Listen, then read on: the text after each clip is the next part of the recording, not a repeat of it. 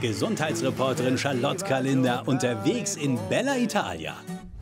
Die Farm L'Ulivo di Monte Cavallo, ganz im Süden der Toskana, ist das heutige Ziel von Charlottes Gesundheitsausflug glaube, gesünder als in mediterranen Ländern wie Italien kann man gar nicht Urlaub machen. Denn hier wächst ja etwas, was als das Geheimnis für ein langes Leben in Gesundheit gilt. Und das ist klein und grün und man kann daraus ganz tolle Dinge machen, mit denen man auch kochen kann. Und ich treffe eine deutsche Ärztin, die hier nach Italien gezogen ist, die biologisches Olivenöl anbaut. Vor zwei Jahren haben sich hier Judith Bildau und ihr Mann Roland mit ihren Kindern und vielen Tieren niedergelassen, um sich ihren Lebenstraum zu erfüllen. 750 Olivenbäume, die sie ausschließlich ökologisch bewirtschaften, gehören mit dazu.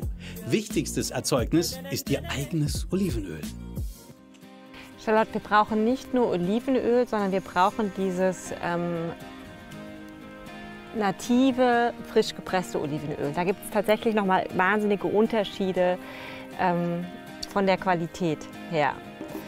Das Besondere am kaltgepressten Olivenöl extra ist, dass es ausschließlich in einem mechanischen Prozess und ohne chemische Zusätze gewonnen wird. Deshalb bleiben hier die vielen wertvollen Antioxidantien erhalten. Eine Flasche kaltgepresstes Bio-Olivenöl gibt es in Deutschland schon für unter 10 Euro. Sie helfen dem Körper allgemein gegen auch Alterserscheinungen, ja. ja. Alzheimer. Es gibt Studien tatsächlich zu dem Olivenöl, zu dem extravergine Olivenöl, Alzheimer-Erkrankungen. Es hilft gegen ähm, Arteriosklerose, also die, die Gefäß, richtig, genau, Diabetes, Herzinfarkt, Schlaganfälle und so weiter.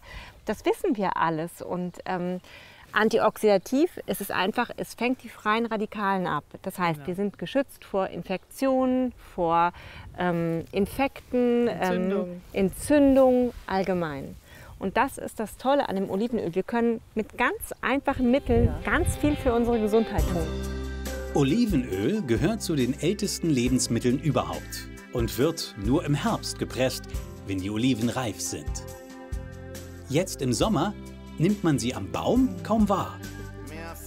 Hier sieht man schon die Oliven, die bald entstehen, nämlich in ganz kleiner Form. Da, das sind die Sprossen. Das wird mal eine Olive, die zu Olivenöl wird. Was wir jetzt ja dringend noch mal klären müssen, ist die Frage, die mir ganz viele Zuschauer immer stellen, nämlich, darf man nun mit Olivenöl braten oder nicht? Das ist auch eine wichtige Frage. Also wir unterscheiden ja einmal zwischen dem nativen, kalt gepressten Olivenöl und dem raffinierten, ja. dem nicht natürlichen Olivenöl. Und tatsächlich ist es so, dass bei dem ganz natürlichen ähm, Olivenöl bei Temperaturen über 180 Grad nicht so gesunde, giftige ähm, Stoffe so, ne? entstehen. Ja, ja, es ist schon so. Deswegen, ähm, da, wenn man wirklich brät, frittiert und so weiter ähm, auf hohen Temperaturen, da lieber das raffinierte Olivenöl nehmen. Ansonsten immer Oliven. das ähm, extra vergine. Beackert wird der Olivenhain übrigens hier ganz klassisch. Mit dem Trecker. Keine Chemie. Doch zum gesunden Leben gehört auch. Okay. Okay, und wir laufen. Die Bewegung. E-Bike ist ja das neue Fahrrad, so sagt man. Und man soll ja im Urlaub auch gerne mal was Neues probieren. Deswegen mache ich das. Ich habe es nämlich noch nie gemacht. Und jetzt denkt man ja, E-Bike, das ist gar nicht gesund und sportlich. Aber nichts da.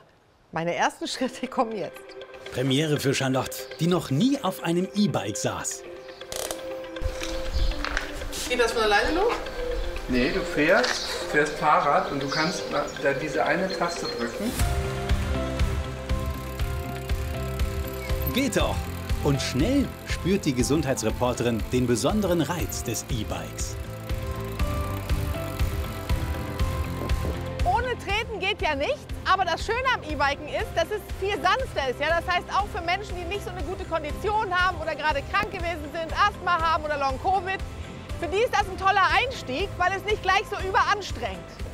Auch in der Gruppe fahren wird einfacher. Abgehängt wird hier keiner mehr, denn die Stärke des Motors kann reguliert werden.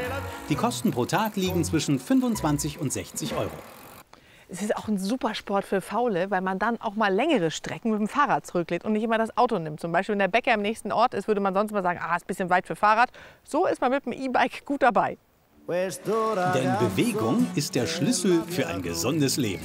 Der Urlaub ist dabei die perfekte Gelegenheit, es wie Charlotte einfach mal auszuprobieren.